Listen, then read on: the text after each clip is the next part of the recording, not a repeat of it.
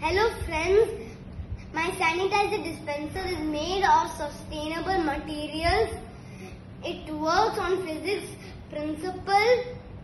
Gravity vacuum pressure releases the sanitizer when someone turns on the cap.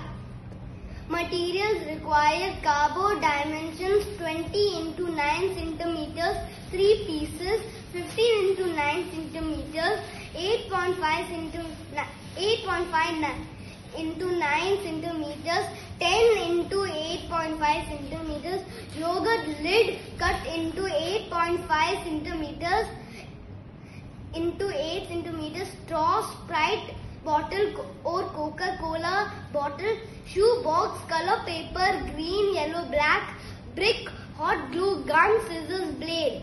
How to make this project? Step 1.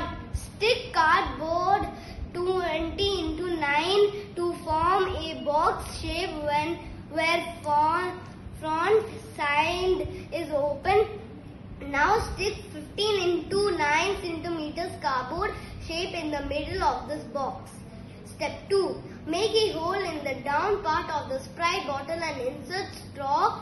Stick it with hot glue gun. Put Step 3. Put the Sprite bottle